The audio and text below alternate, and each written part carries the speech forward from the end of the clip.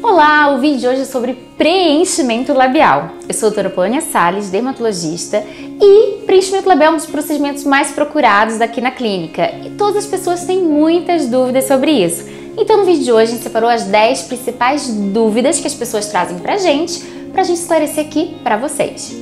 Primeira dúvida, que tipo de preenchedor usar? Existem os temporários e os definitivos. Aqui na clínica a gente só usa os temporários que é o preenchedor com ácido hialurônico. Por quê? Porque os definitivos, apesar de de cara você pensar, nossa, eu vou fazer só uma vez o procedimento e vai resolver meu problema, eles têm dois grandes problemas. O primeiro é, se você não gostar, não tem como tirar. Só se fizer uma cirurgia super complexa, que poucos cirurgiões fazem, é realmente muito complicado.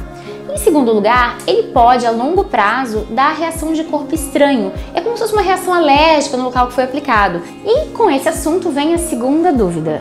Tem como a gente retirar um preenchimento que foi feito? Bom, tem se ele tiver sido feito com o ácido hialurônico. Porque a gente aplicando essa enzima, que é a hialuronidase, a gente consegue fazer dissolver esse preenchedor e aí você consegue voltar ao formato da boca que você tinha anteriormente.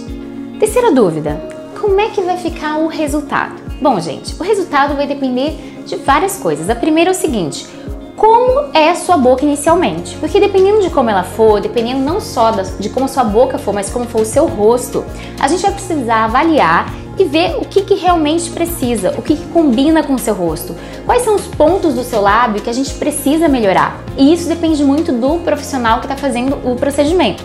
Então a ideia hoje em dia é que todo lábio pareça muito natural. A gente adora esse resultado natural porque fica parecendo que você já nasceu com aqueles lábios, não parece que você fez o procedimento. E essa é uma tendência mundial. Todo mundo hoje em dia quer que os procedimentos estéticos sejam muito naturais. E a gente já vem fazendo lábios naturais há muito tempo aqui na clínica. É claro que isso não significa que os lábios não precisam ser volumosos. Tem gente que quer ter lábio volumoso e isso é ótimo e pode ser feito também de forma natural. O detalhe é que tudo precisa ser visto não só em relação à sua boca, mas em relação à sua boca no seu rosto, para ver o que, que combina, para ficar tudo harmônico. E dependendo da técnica, o resultado realmente pode ficar muito natural e o lábio ficar lindo.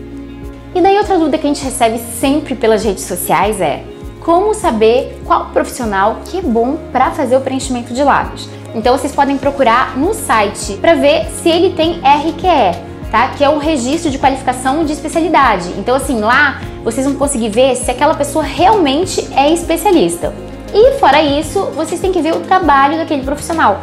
Ver como são os lábios que ele já fez, se ele realmente entende do que ele está falando, se ele fez cursos importantes nessa área, porque existem várias técnicas ao redor do mundo e na verdade, assim, um bom especialista ele nem faz uma técnica só, ele faz várias técnicas. Eu mesmo faço todo ano. Eu já faço bem os lábios, mas assim mesmo, todo ano eu fico vendo quais são os cursos mais importantes ao redor do mundo, quais são as técnicas novas para poder aprender e trazer. E na hora que eu vou fazer o lábio de alguma pessoa, eu sempre avalio o que ela precisa, lembrando de todas as técnicas que eu já aprendi e uso tudo isso para conseguir um resultado mais natural.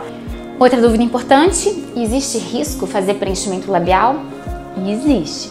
Mesmo a gente fazendo com o ácido hialurônico, que é um preenchedor muito seguro, sempre existe risco. E o maior deles é que se esse preenchedor for injetado dentro de algum vaso, ele pode fazer uma oclusão e isso pode levar à necrose daquela área irrigada por aquele vaso. E isso é uma coisa muito séria.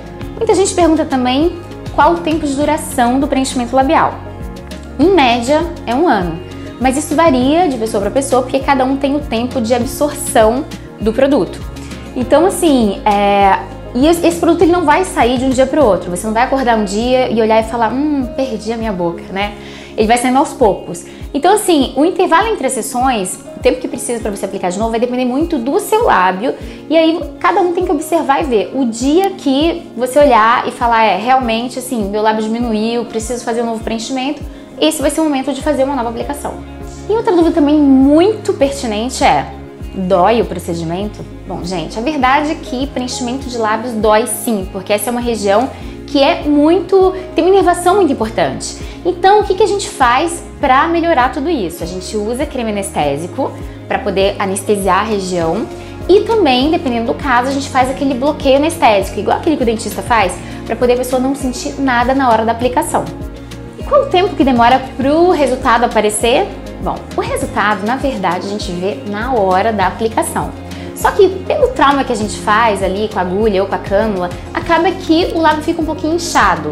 E no dia seguinte ele incha ainda mais. Então, o melhor resultado a gente vê depois de alguns dias de ter feito o procedimento. É o resultado assim que vai ficar. Mas a gente na hora já consegue ver o resultado sim.